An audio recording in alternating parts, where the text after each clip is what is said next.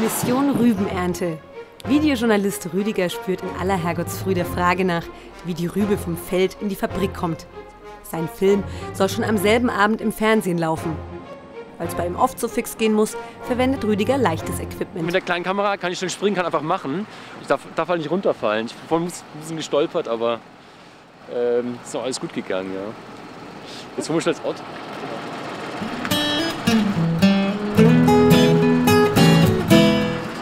Ein Rübenbauer bringt den VJ zu seinem Auto. Im Kofferraum stapeln sich Kameras, Aufstecklichter, Mikrofone und ein kleiner Kabelsalat. Also die ganze Ausrüstung, um die sich normalerweise ein Kamerateam kümmert. Ich weiß nicht, ob ein Profikameramann sowas macht, aber ich mache es jetzt mal so. Konventionelles Fernsehen wird ja so gemacht, dass man als Journalist der Autor ist oder der, auch der Regisseur ist. Das heißt, man hat mit der Technik eigentlich nichts zu tun sondern hat ein Kamerateam, die die Bilder und die Töne machen und äh, einen Cutter, der den Beitrag dann fertig schneidet. Und als Videojournalist macht man alles selber. Ich drehe meine Bilder selber und ich schneide meine Sachen auch selber. Vielleicht machen VJs das nicht ganz so perfekt wie Kameramänner oder Cutter. Bei sensiblen Themen kommen sie dafür viel näher an die Menschen heran. Das ist ein unglaublicher Mehrwert, wenn man konventionelles Fernsehen ist, man immer zu dritt, man ist immer eine Mannschaft, man ist immer mehr als die anderen. Und ähm, äh, das, das zerstört sehr vieles. Das macht die Leute nervös. Das ist ungewohnt für die.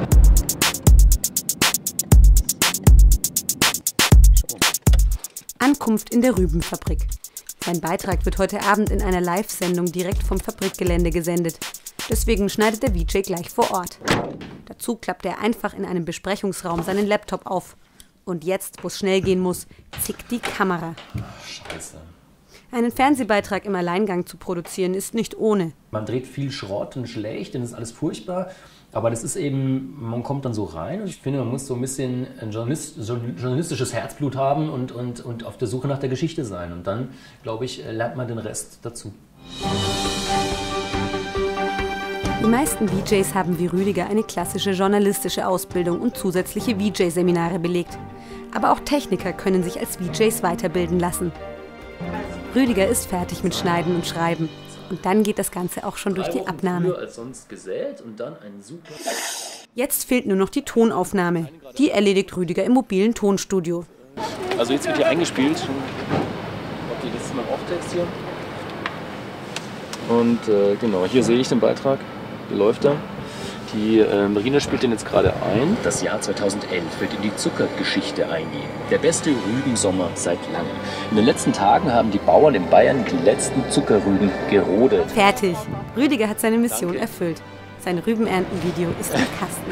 Geschafft, fertig. Jetzt, jetzt, jetzt dämmert es, jetzt ist es dunkel. Ähm, wir haben es tatsächlich geschafft.